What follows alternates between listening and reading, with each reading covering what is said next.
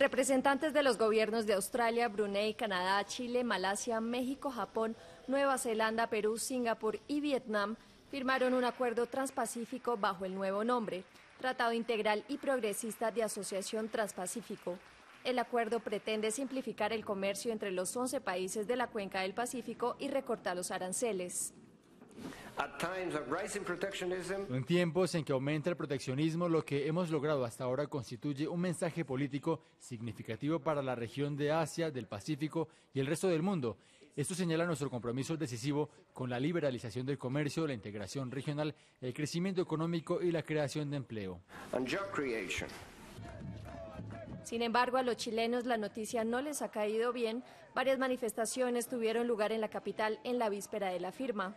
Estamos diciendo que no se ha firmado el TPP porque realmente con el TPP firmado nos transformamos realmente en esclavos, ¿ya? Es decir, eh, vender la soberanía de un país y la posibilidad que la gente pueda, como lo ha hecho ancestralmente, cultivar sus semillas, es realmente una, un abuso, es realmente una situación paradójica e insana para cualquier país del mundo.